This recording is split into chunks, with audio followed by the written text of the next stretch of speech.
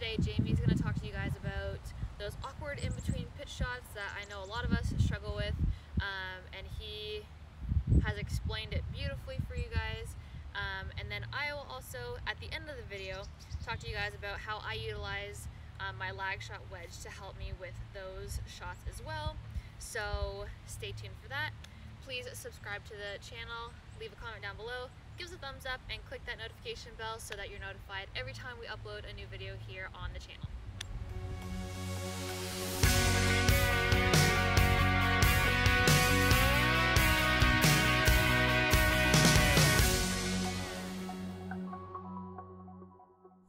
Good morning, Jammie here with Wisdom in Golf, Cider Ridge Golf Club. Today we're going to talk about wedge play. Going to give you some drills that's going to really help you sure up that contact, help you with distance control, and on those awkward shots where you're kind of in between yardages that everybody struggles with. Stick around. So, you know, a, a real, a big question I get a lot is, you know, people want help with, you know, say we got that little in-between shot where I have to hit it easy, or they have to, they try to swing a little bit harder and they often they'll pull it, or if they try to take a little off the club, as they say, you know, they'll, they'll you, you'll find yourself pushing it a lot of times. So, you know and that comes back to me to you know comes all the way back to the very first thing the most critical thing you know is that you know the task trumps everything else. So even even if i'm going to swing this wedge half speed say i still want to remain on task i still want to get that club going in the direction i want to go with momentum. So you know it doesn't matter the momentum's different. You know if i'm hitting a 100 yard shot that momentum in the field that i have you know, is, is a little more intense than say if I'm going to hit a 60 yard shot. So, and I practice a lot with say a pitching wedge that I hit, a, my stock pitching wedge is about 145, but I, I, will hit it a lot of times 115 and, and go through practice doing that just to feel the different levels of momentum is the way I, I, I you know, for my own game and, you know, different levels of strain. Okay, so we have a couple of aids here that we use, some training aids that we use just real simple stuff you can pick up anywhere. We actually have a, a small hammer, it's a 14 ounce hammer, a heavy club, and we have a six pound medicine ball. And this is really going to help enhance your experience of feeling that arm club unit and how to gather up momentum and send it through the intermediate point into your flight plan in the direction that we want the ball to go. So uh, drill number one is uh, we use this drill a lot with my students when we come and we block off time for wedge play. Um, we use it, we, we don't really and this is a really good thing for you when you practice your wedges, is don't just stand there and hit a stock wedge over and over and over again. Uh, we have a launch monitor here today, and what I do with all my students is we use on a, you can go on your phone and go and just Google random number generator, and you can pick your parameters that you want. Say for today, we're going to hit between 50 and 90 yards. And when you hit generate, it just gives you a random number. So what we're going to do is we'll take this, this momentum drill and we'll put it into, uh, into a live action shot here and we'll try to hit that number. So it just challenges us. It makes that learning experience more, you know, deepens it a little bit for you. So you can really start using momentum to dial in those yardages on those awkward shots where you have a 72 yard shot, say on the golf course, and you're trying to figure out what to do with it. You know, the big, big fall that I see a lot is people decel on their wedges if they have an in-between shot and they're going to take a little off, you know, I hear that a lot, take a little off and they end up pushing it to the right, missing the green from 70 yards. Man, that's just a score killer because now you got to go up there, you got to chip, and you know, you want to get it on the green on those on those things. And the way that I found just absolutely is critical is, you know, you always want to, you still got to stay on task. It doesn't matter what the distance of the shot is. We're going to use momentum to stay on task and, and show and, and learn how to use different what I call different types of momentum.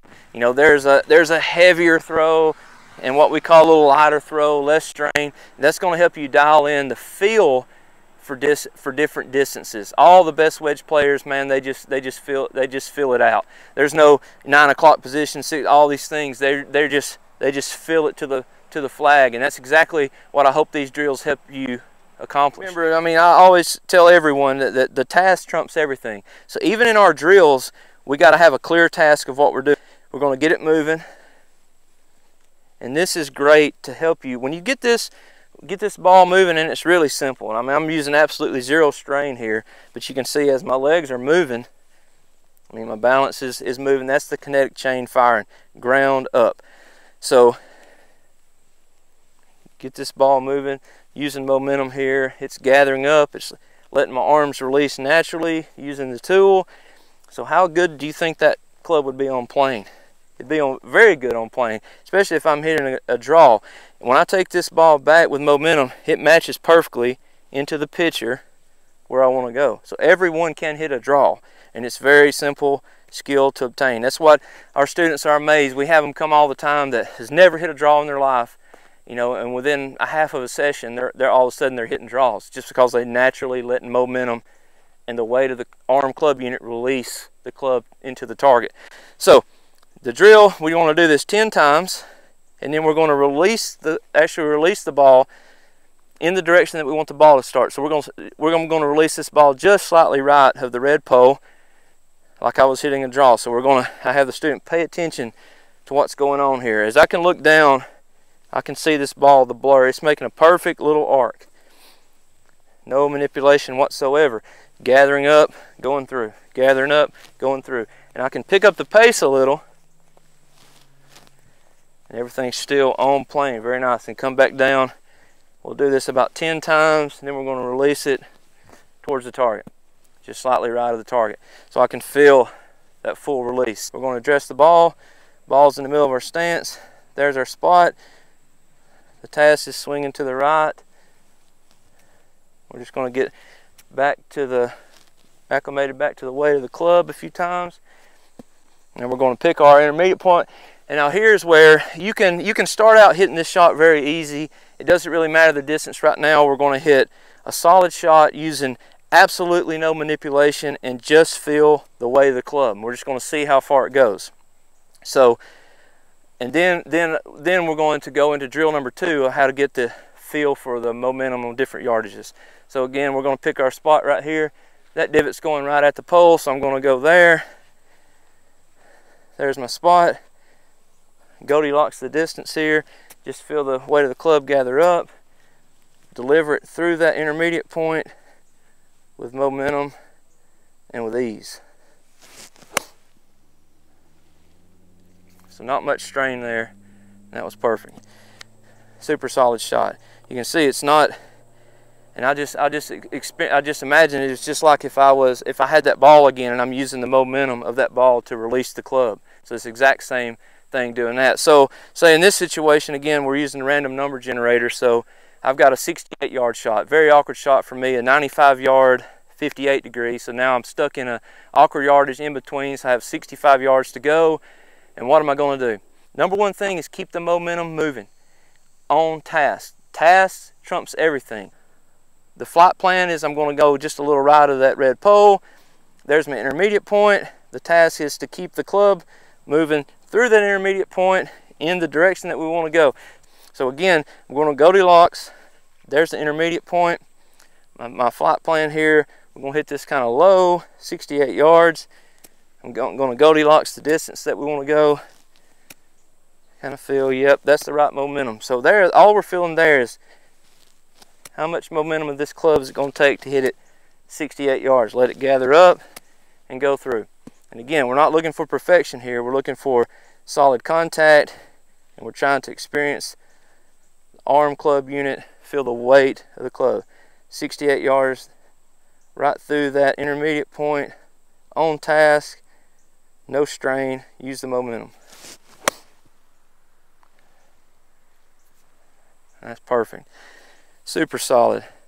64.7, so that was pretty close. So I got about a six or eight footer for birdie maybe it was, you know, I don't know, it was three or four feet right of the pin, but pretty good. There again, it's on the green and I have a chance to make a birdie.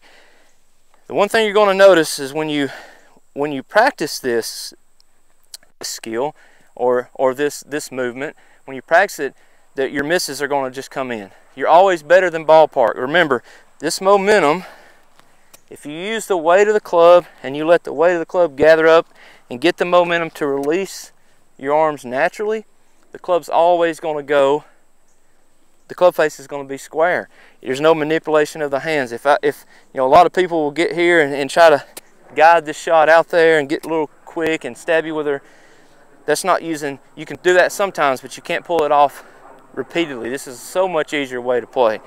All right, so we got a, a new a new number here. We've got 77 yards. So I'm gonna, this is another just a really strange number. I'm gonna try to, we wanna get this thing close. We're on a par five. We're trying to get it close, get it on the green, give us our, give us ourselves a chance at birdie. And the best way to do that is to get it on target, on line, right? You don't wanna miss the green from here. That's gonna cost you some strokes. So we're gonna go get our intermediate point again. It's right along this, right along the, the left side of that divot um, we're going to hit it high this time. So the flight plan is going to be a little bit different. I'm actually going to slightly open the face here and swing along this way. So again, this is where you experiment on the range when you're practicing. Using the momentum of the club, using different heights, and you'll see, let that let the weight of your arms and club gather up, and get that momentum, and then let it deliver. Just let it naturally happen. So we're going right along the left side of the divot. I'm going to slightly open the face before I take my grip. So I'm aiming a little bit further left this time. 77 yards. The right direction here. Momentum, no strain. That's absolutely right on it. Perfect, that's gonna be really close. Perfect, that was 76.6, so we probably got a, you know, that's a two or three footer for birdies. That was, that was a nice one, and it was really high. So again, if we're going to hit a 30 yarder, you still got to use momentum. You're just going to use a little less strain or a little less a little less momentum. You're not going to take it back as far. So 30 yards, we're just going to Goldilocks it. What would go 30 yards? I'm going to say, oh, that's that's too much. That's probably not enough. Your brain's going to say, I got this somewhere in between there. Will be perfect. 30 yard shot no strain. Right on target. That was 28.2, so that was pretty close again. There's another six footer, so that's good. We can play from there. I can make a, I can make a couple of six, uh, six footers. Even me, I can make 50% of those. But um, so I hope this helps. Um, it will definitely give you a, a, kind of a plan and a game plan when you go to the range to practice your wedges. You know, just carve out 30 minutes to work on nothing but and just learning what the arm club unit and learning the weight of the club and letting it naturally release your arms in the direction that you want to go. It's absolutely going to improve your wedge play. It's going to help you on those awkward distance shots because now you have a clear plan. Stay on task. Let the weight of that club release your arms naturally and square the club face. And you're going to see those those half wedges that you used to push to the right or pull to the left, they're going to start going at the target. Okay, so you probably don't need me at this point. Jammie explained all of that beautifully, but I thought I would pop in just to show you guys how I utilize this lag shot for that exact practice. Um, the best thing about the lag shot is that it has a little bit of an extra weight to it, so you get that exaggerated feel with the weight of the arm club unit, which is what we want to feel while utilizing momentum, just kind of like the medicine ball that Jammie was talking about. So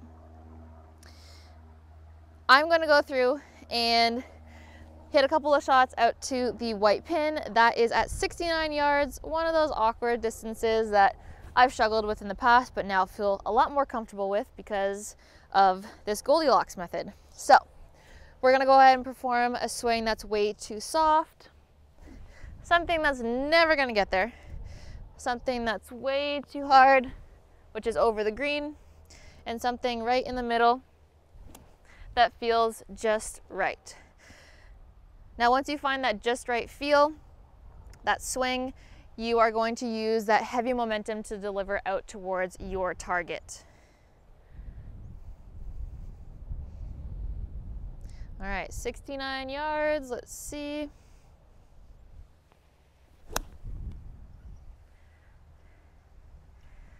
Not too bad, a little heavy.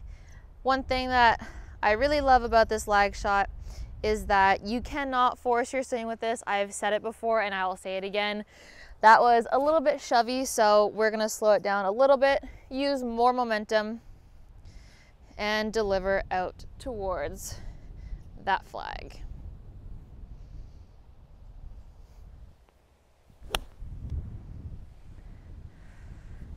Now, that was the perfect distance.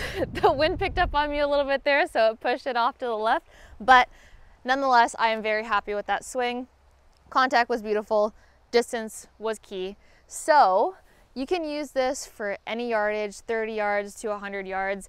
It works for everything, even those little chip shots. So I hope you guys enjoyed that. We will see you in the next video. Don't forget to subscribe, like the video, give us a thumbs up, hit the bell, all those things, and we will see you again soon.